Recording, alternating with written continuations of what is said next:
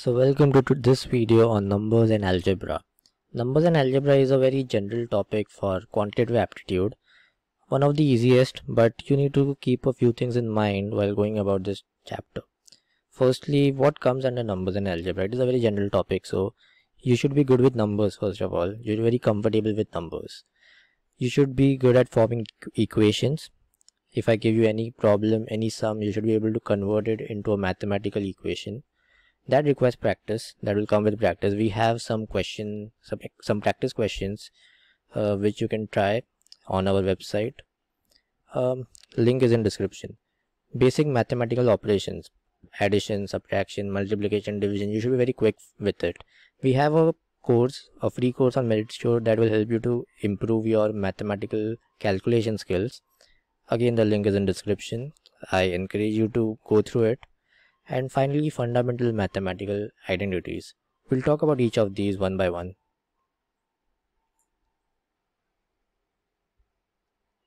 So as I said before, you need to be good at forming equations. So this is a question from our practice questions. If you are watching this video on YouTube, the link is in description. If you are watching this video on Meritstore website, then you can go down and start solving these questions. So if one third of one fourth of a number is 15, then 3 tenth of that number is. So you need to be able to form this into an equation. So how would you do it? 1 by 3 into 1 by 4 into x is equal to 15. Okay, that is how you form this equation. So this comes with practice and for practice we have given you 20 questions under this chapter of numbers and algebra in our course on meritstore.in. Next, you need to be good with uh, basic mathematical operations like addition, multiplication, subtraction, and division. So on Meritstore, we have this great platform where you can practice calculations. This is a very basic version of it. You can choose different levels. Let's go to level 3. So in this way, practice daily for at least 15 minutes or at least 5 minutes. You can also go to multiplication, subtraction, division. You can practice whatever you want, whichever mathematical uh, operation you want to practice and then you can practice it with levels level 1 level 2 level 3 level 4 and you can keep on leveling up as you get comfortable. This is a really good practice for you. And it won't take much time. Just even 5 minutes a day can cause a significant uh, improvement in your mathematical skills. And this will make you more comfortable with numbers.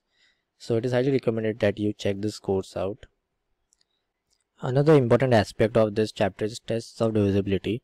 A lot of questions are asked in aptitude which depends on uh, figuring out whether a number is divisible by another number or not, which is tests of divisibility.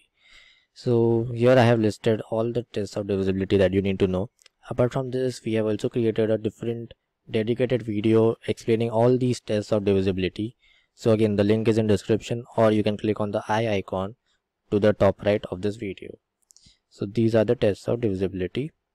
Next are the fundamental mathematical identities. These six identities, never forget these identities, very important. No matter which aptitude test you are attempting, you need to know these fundamental mathematical identities. So first is a plus b the whole square is a square plus 2ab plus b square. a minus b the whole square is a square minus 2ab plus b square. a square minus b square is a plus b into a minus b a plus b plus c the whole square is a square plus b square plus c square plus 2ab plus 2bc plus 2ca and then a plus b the whole cube is a cube plus b cube plus 3a square b plus 3ab square. You can also remember this equation as a cube plus b cube plus 3ab into a plus b. Okay. Then finally a minus b the whole cube is a cube minus b cube minus 3a square b plus 3ab square you can also remember this equation as a cube minus b cube minus 3ab the the whole a plus b right? So basically you have to be comfortable with numbers mathematical operations calculations and of course fundamental mathematical identities in order to crack this topic